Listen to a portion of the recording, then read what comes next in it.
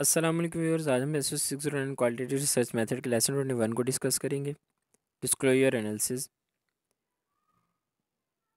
ये एक टूल है जो कि आम तौर पर क्वालिटेटिव रिसर्च के अंदर यूज़ होता है। नियर पास्ट का जो है, इसके अंदर एनालिसिस किया जाता है।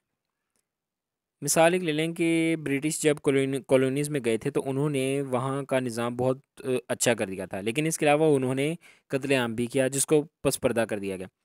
तो यानी कि इसको छुपा, ज़िक्र नहीं किया गया इस बात का। तो डिस्क्लोजर एनालिसिस में इस चीज़ पर रिसर्च की जाती है कि उन्होंने जो कत्लेआम किया था, जिस पर ज़्यादा फोकस नहीं किया गया, उस, इस चीज़ को जो है, इस चीज़ पर रिसर्च की जाती है। It can be through text और पिक्चर्स। इस लैंग्वेज को देखा जाता है और इसके अंदर लैंग्वेज को देखा जाता है और इश्यूज़ के दरमियान जो है वो सीक्वेंस देखा जाता है कि एक इशू से दूसरे इशू तक जो एक मसला बना है, दोनों दरमियान उनका सीक्वेंस क्या पहले क्या मसला आया था, उसके बाद दूसरा क्या मसला, इस तरह।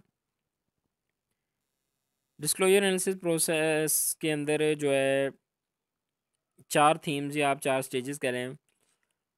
टॉपिक कंस्ट्रक्टिव और एक्शन और ये चीज़ें जो हैं वो इसका डिस्क्लोजर किया जाता आखिरी है डिस्क्लोजर ऑफ़ रिटोरिकली ऑर्गेनाइज्ड यहाँ पे इसको एक्सप्लेन नहीं कर रहा जस्ट नेम मेंशन इनको आप याद कर लीजिएगा। डिस्क्लोजर एनालिसिस डीमेरिट्स एक लैंग्वेज से हम जो मीन ले रहे हैं, क्या दूसरा भी उसे उसी तरह परसीव कर रहा है? मुख्तलिफ़ कल्चर के लोग एक लैंग्वेज को मुख्तलिफ़ तरह परसीव करते हैं। इसके साथ साथ कॉन्टेक्चुअल मीनिंग भी ज़रूरी है। डिस्क्लोजर एनालिसिस में कोई स्पेसिफिक टूल नहीं होता। जो रिसर्चर्स होते हैं, अपनी मर्ज़ी के मुताबिक, अपनी आसानी के मुताबिक इसके अंदर टूल इस्तेमाल करते हैं। मुख्तलिफ़ लैंग्वेज को अंदर अंडरस्टैंड करना भी बहुत ज़्यादा मुश्किल होता है। एक लैंग्वेज जो वहाँ के लोग बोल रहे हैं, दूसरा बंदा वो लैंग्वेज सीख के तो चला जाता है, लेकिन उसको जो मीनिंग वो लोग, मुकामी लोग जो मीनिंग ले रहे होते हैं, वो मीनिंग समझना उसके लिए बहुत मुश्किल होता है।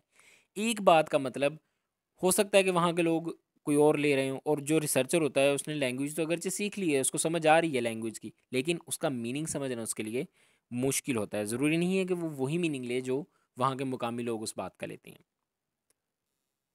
व्यूर ये था हमारा बिल्कुल शॉर्ट सा सिंपल सा lesson I hope I made it clear मिलते हैं जल्दी अपने नेक्स्ट लेसन ट्वेंटी टू के साथ. टिल दैन टेक केयर अल्लाह हाफिज़.